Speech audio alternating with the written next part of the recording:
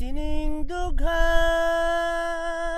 sa adlaw kag gabi ginahandom ang matamis ni mo ngayuhom naga hibi nagapangayhay nagahulat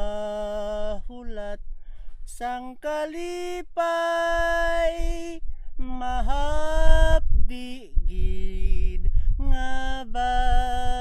batyagon kinagong gugmanakon ubulak ka nga matahom sa tanan nga tion ginahandom.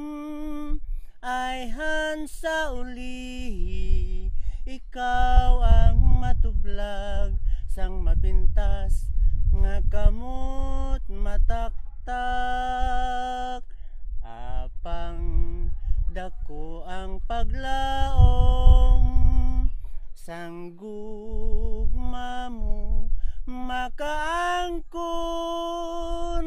Mahapdi gid nga batyagon tinagong gugmanakon